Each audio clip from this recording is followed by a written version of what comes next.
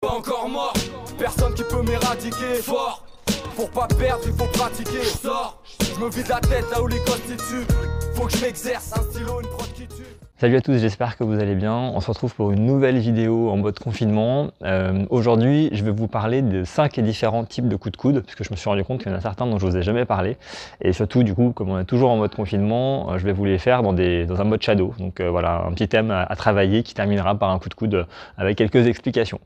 Avant de poursuivre, si vous avez envie de m'aider, n'oubliez pas que vous pouvez partager ma vidéo, liker, vous abonner à la chaîne ou laisser un petit commentaire, notamment sur ma coupe de cheveux pour ceux qui, qui me suivent sur Instagram. allez, je vous fais pas plus attendre, on démarre tout de suite. On va commencer par les coups de coude vraiment classiques, coup de coude gauche, coup de coude droit. Euh, mais je vais vous montrer qu'il y a une petite euh, subtilité à prendre en considération quand on travaille ces coudes-là. Euh, on va travailler un premier enchaînement. Vous allez partir en garde. On va faire un pas d'appel pour venir envoyer un jab, ok? Et immédiatement après ce jab, on va envoyer un coup de gauche, ok? En recassant la distance une deuxième fois. On casse la distance sur le jab, ici. Et tout de suite après, on va refaire un pas d'appel pour recasser la distance et cette fois-ci emmener le coup de gauche. Et là, vous allez voir que c'est un coup qui marche très bien euh, parce que le jab va soit se faire fermer la garde à l'adversaire et donc le coup de gauche va pouvoir passer euh, assez facilement sur le côté, euh, ou alors si l'adversaire il chasse un peu, il bouge un peu, il bouge un peu sa garde pour venir bouger le jab, et eh ben, le fait que le coude soit très court derrière, il va bien passer dans la garde c'est un des sujets que je, que je, vais vous expliquer, c'est que je vous ai dit dans ma vidéo sur les coudes que le coup de gauche se mettait relativement horizontal par rapport au sol et que le coup droit lui se mettait plutôt euh, de haut en bas un peu comme si on mettait un coup d'épée ou un coup de bâton pourquoi? C'est assez simple parce que si vous vous trouvez droitier à droitier c'est la situation qu'on va imaginer pour l'instant et eh ben vous allez voir que de fait un coup de gauche euh, si mon adversaire est droitier, il va passer de manière très naturelle au travers de ma garde. C'est-à-dire que si je suis ici, le coup de gauche, il va trouver son chemin très facilement euh, dans ma garde. Alors, alors qu'un coup de droit aura plutôt tendance à venir percuter ma garde à ce niveau-là, à ce niveau ici. Et donc l'intérêt de le mettre euh, de haut en bas, c'est pour essayer de casser la garde de l'adversaire, de passer justement à un endroit où il n'y a pas de, protection, pas de, garde, c'est-à-dire ici. D'où la nécessité de bien mettre le coup de droit de haut en bas, alors que le coup de gauche, lui, peut passer directement au niveau du visage, à ce niveau-là, euh, entre les deux mains de l'adversaire. Donc pour finir sur notre, petit, notre premier petit enchaînement, on va faire jab, coup de gauche directement derrière, ok donc jab, coup de gauche directement arrière et on finit avec direct, genou, jambe arrière. Ok, je le refais une fois. Je suis là, très offensif, le jab, le coude, ok, le direct et le genou, jambe arrière. Je le refais une dernière fois. Jab, coude et le direct et le genou, jambe arrière. Pour enchaîner avec euh, l'autre coude, donc le coude droit, celui que je vous disais qu'on essaie de bien mettre de haut vers en bas pour passer à travers la garde, on va le travailler différemment. On va envoyer tout simplement gauche-droite, ok, en cassant toujours bien la distance, on démarre gauche-droite. Cette fois-ci, on va faire une feinte de middle ou de genou arrière en levant juste le genou euh, à l'horizontale devant nous. Gauche-droite, je lève mon genou là, finalement, je viens piquer au genou avant et je reviens en coude arrière, ok Là, l'intérêt évidemment, c'est de faire voir l'adversaire que le coup vient plutôt euh, diagonal bas pour revenir euh, diagonal haut, euh, que le coude il ne le voit pas arriver, et toujours bien de haut en bas pour maximiser les chances d'avoir un bon impact. Je le refais.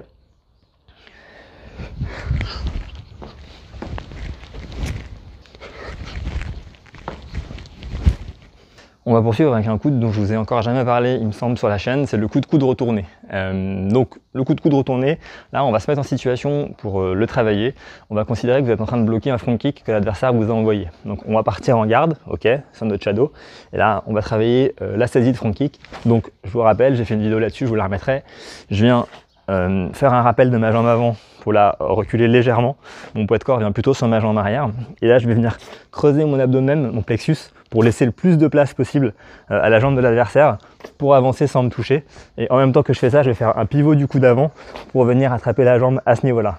Donc je suis en garde, hop, je me creuse, je fais mon pivot de coup d'avant et je viens saisir le front kick de l'adversaire. Donc là l'idée c'est vraiment d'attraper la jambe avec le gant, c'est faisable, ça se fait bien. Au niveau de la cheville, on va venir hop attraper la jambe de l'adversaire. D'ici là, ce qu'on va faire c'est que la jambe de l'adversaire, on va virtuellement la jeter en arrière. Ok, l'idée c'est aussi tirer un peu l'adversaire vers soi pour que après son front kick, il ait tendance à retomber en avant en venant vers nous, euh, ce qui va donner de la puissance à notre coup suivant. Donc j'ai saisi et je jette bien derrière moi la jambe de l'adversaire en essayant de le tirer bien vers moi. Il ne s'agit pas juste de le faire passer sur le côté, comme s'il avait raté un middle, euh, qui fasse un tour sur lui-même, mais plutôt bien qu'il tombe en avant euh, avec le, fait que je jette ma jambe, sa jambe en arrière. Donc je suis là, j'ai saisi, je vais envoyer derrière, et là ce qui va se passer, c'est qu'au niveau des appuis, il y a un travail bien spécifique à faire. C'est que vous allez décaler du mauvais côté. Ce que j'appelle du mauvais côté, c'est-à-dire que votre jambe avant, vous allez la passer environ devant votre pied arrière. Au lieu de décaler toujours en diagonale comme je vous fais faire tout le temps, là cette fois-ci, suite au fait d'avoir jeté la jambe, on va venir mettre sa jambe devant sa jambe arrière, ça naturellement ça crée un déséquilibre, ça crée un déséquilibre au niveau du buste, et ce déséquilibre là, bah, ça va être le prétexte pour envoyer le coup de coude retourné. ok? Naturellement, le buste tourne et on peut envoyer le coup de retourné.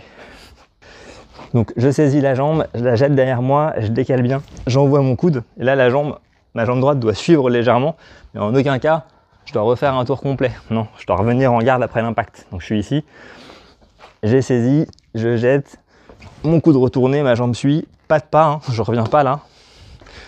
Ma jambe suit et après je reviens en garde. Ok, je le refais une fois.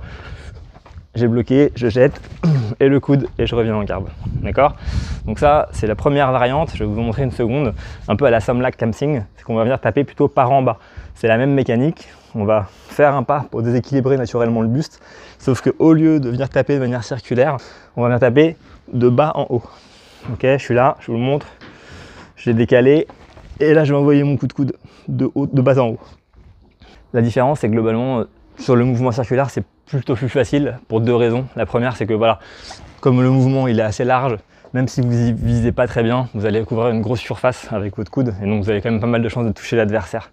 Euh, l'autre chose, c'est que si jamais l'adversaire vous vous rendez compte qu'il est hors distance, bah, vous pouvez tendre le poing et faire plutôt un back fist plutôt qu'un coup de retourné si jamais vous voyez que ça va pas le faire et qu'il a trop bougé et que vous vous êtes mal positionné. Donc c'est quand même plutôt plus facile à passer. Maintenant, quand on commence à parler de coups de remontant comme ça, euh, celui-là, il est vraiment très très surprenant en termes d'angle et euh, dès qu'il va toucher, il va mettre KO. Franchement, euh, celui-là, c'est vraiment vraiment compliqué de l'éviter. Donc il est plus compliqué à positionner, mais il est plutôt plus efficace, plutôt plus percutant. On lui percute toujours les coups qui viennent dans le menton, c'est toujours très très efficace. Puisque je parle de coups de remontant, on va continuer avec notre quatrième forme de coude, c'est les coups de remontant euh, directs, avant ou arrière. Euh, c'est des coups qui peuvent être très très offensifs, hein, notamment sur euh, un coup d'avant, il d'envoyer un jab, tout simplement on va venir rentrer directement avec le coup d'avant, ou très défensif sur un adversaire qui rentre fort en anglaise, va pouvoir rester bien hermétique et envoyer un coup d'arrière par exemple. C'est deux coups qui vont vraiment très très bien marcher. Et donc là on va le faire sur un enchaînement, on va partir en garde, on va travailler le coup d'arrière, on suit avec un direct et on termine avec une jambe arrière. Euh, là, ce qui va vraiment être important sur le travail de coude arrière, c'est le travail de hanche. Ok, bien passer la hanche, c'est pas uniquement votre coude qui va venir se lever, sinon vous allez avoir une allonge quasiment nulle, en plus de pas avoir vraiment énormément de puissance. Alors que s'il y a de l'engagement du corps et en plus la hanche qui passe, bah là votre coude voilà, il va percuter, il va avoir plus d'allonge et plus de puissance. Donc on vient bien envoyer le coude, on double avec le direct et ensuite la jambe arrière. Je vous le refais, coup d'arrière, le direct et la jambe arrière. Allez, on finit pour aujourd'hui avec notre dernière forme de coup de coude. Euh, celui-là, c'en est un qui est vraiment très difficile à voir venir et qui est vraiment très très efficace. Ça va être celui où au lieu de simplement venir descendre son coude euh, sur l'adversaire, on va venir vraiment le planter euh, comme un coup de couteau sur la face avant de l'adversaire. Si on a un adversaire qui est vraiment une garde très hermétique, qui fait une bonne Dracula garde par exemple, qui évite bien les coups de remontant, euh, qui est vraiment bien fermé, parfois celui-là c'est un angle qui est vraiment très très spécial et qui est plus compliqué à voir venir et qui marche bien. On peut travailler sur un enchaînement type crochet avant, ok crochet avant, ensuite je vais faire immédiatement euh, une feinte de genou avant ou euh, de prise d'appui, euh, quelque chose où l'adversaire sait pas trop ce qui arrive pour envoyer ensuite le coup de derrière. Donc je suis là, ok, j'envoie mon crochet du gauche, la feinte, et là je viens vraiment avec l'épaule poinçonner le visage de l'adversaire de cette manière-là. C'est un angle qui est pas évident, c'est quasiment l'angle d'indirect, mais c'est beaucoup beaucoup plus court, c'est vraiment dur à voir venir. Donc on le refait là, je suis en garde, j'envoie mon crochet, ma feinte, et hop, je viens pour sonner tout de suite. dernière fois, le crochet.